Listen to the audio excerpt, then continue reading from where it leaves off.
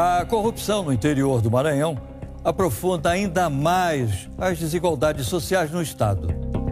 Na pequena cidade de Centro do Guilherme, a fome revela sua face mais cruel: a exploração sexual de crianças em troca de comida. São mais de 500 quilômetros até a cidade com a maior porcentagem de miseráveis do Brasil.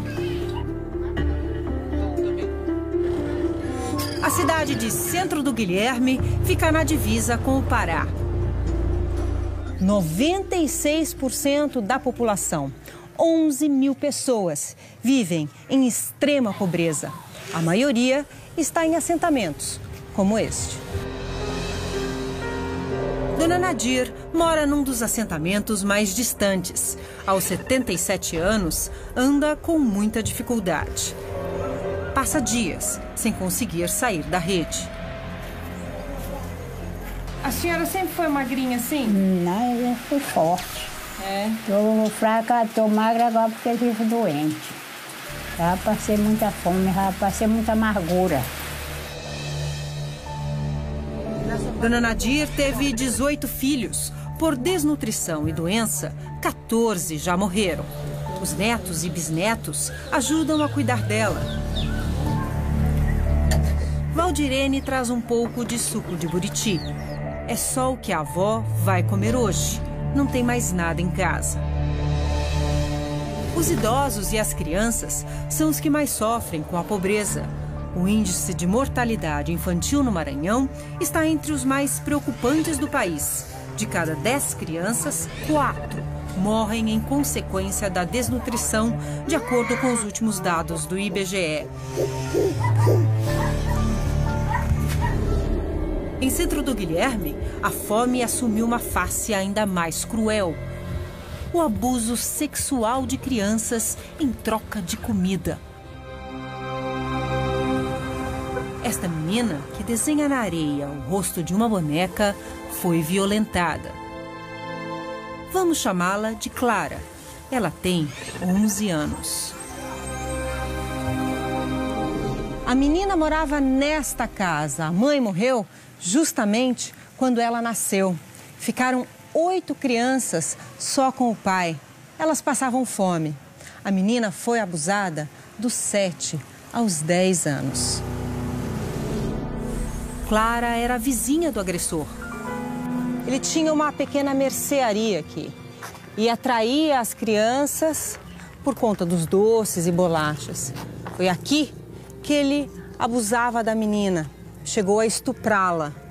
Tudo em troca de comida. A mulher do comerciante ainda mora na casa. Ela não nos atendeu. No vilarejo, ninguém quer falar sobre o assunto. Ilza é tia de Clara.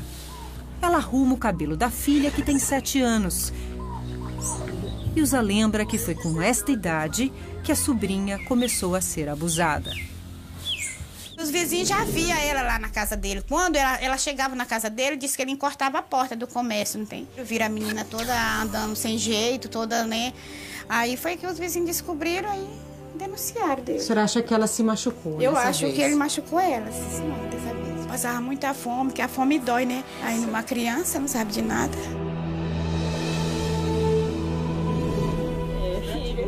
Dona Corina é a avó de Clara. Iludiu com negócio de bombom, viu? O pai saía para trabalhar porque ele tinha que sair, que ele era o pai e a mãe.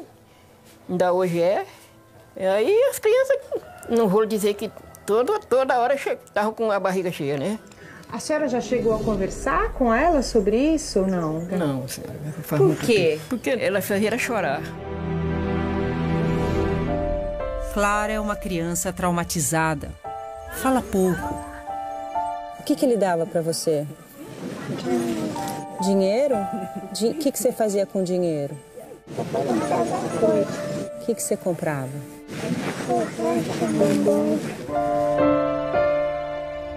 É na areia que a menina tenta mostrar o que está sentindo. E o que, que você está desenhando aí no chão? O quê? Uma boneca? Você gosta de brincar? Mas o que significa esta boneca? Ronilda é a conselheira tutelar que acolheu Clara na casa dela logo depois que os abusos foram descobertos. Ela desenhava uma boneca no chão.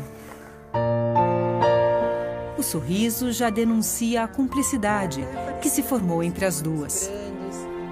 A gente estava na casa de uma amiga minha, psicóloga, tinha uma boneca. Aí eu peguei a boneca e gostei muito da boneca. Ela falou, tia, tu gostou da boneca? Eu disse, eu gostei. Ela, por quê? Eu disse, não, porque é muito linda. Ela disse, tu pode me dar ela? E a minha colega ouviu e falou, pega, pode ficar com ela. E ela começou a brincar com a boneca. Ela falou assim, tia, toda vez que eu pegar essa boneca, eu vou dizer que é a senhora, que a senhora tá brincando comigo. Foi para Ronilda que Clara revelou a brutalidade sofrida.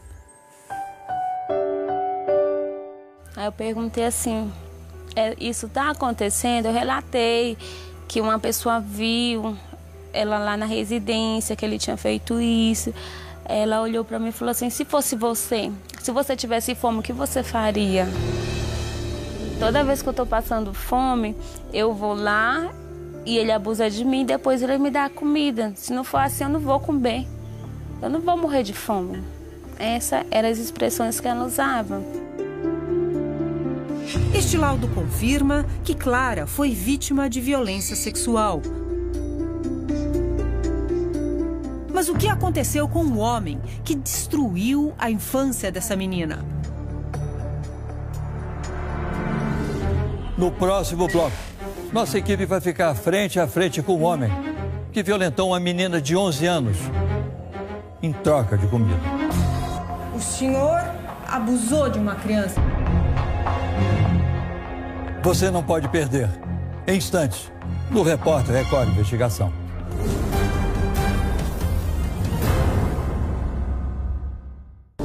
Uma criança explorada sexualmente durante três anos em troca de comida. O abusador é o comerciante Raimundo Escócio. Em uma entrevista exclusiva, ele tenta justificar o que é injustificável. Ele se refere à vítima como um objeto. Os criminosos da região são trazidos para a delegacia de Centro do Guilherme. O nome do estuprador é Raimundo Nonato Escócio. O senhor abusou de uma criança em troca de Eu não comida? Não, senhora. Pois é isso aí que eu quero. Eu quero provas. Eu quero a prova quem viu, quero prova de, de exame de DNA. Eu exijo essas provas. Perguntei pra ele. Mas a justiça o considerou culpado. Raimundo está condenado a 17 anos de prisão. O senhor não tinha uma mercearia? Tinha. Ela entrava na sua mercearia? Não, senhora. Não, senhora, é menos verdade, é mentira. É, Nunca ela entrou dentro da minha coca, eu não a denúncia veio anônima de várias pessoas da comunidade que viam Não, o que senhora. estava acontecendo. Não, senhora, a denúncia veio do próprio vizinho meu. O próprio Que estava vendo tudo. O próprio vizinho, que ele não estava vendo nada, ele nunca viu nada, eu quero a prova disso que ele viu, que ele tenha visto isso. A justiça se te prendeu sem prova. Sem prova, sim. Eu garanto que foi sem prova. Porque as duas pessoas que estavam dentro da minha casa que trabalhavam comigo, eles nunca viram isso. Porque eu sou um cara que eu tenho respeito moral, tenho famílias, e minha família toda é considerada, nunca estou fazendo um papel desse. Mas durante a entrevista, um ato falha. Preste atenção no que ele diz agora. É mentira, porque eu nunca na minha vida nem nessa troço lá. Raimundo se refere à menina como se ela fosse uma coisa. O senhor chamou ela de troço? Não, eu estou falando aqui nós. Eu nunca cheguei. Lá, chegava é uma menina, Sim, né? Não é um troço. lá, lá. Raimundo entra em contradição ao tentar explicar o que a menina fazia dentro da casa dele.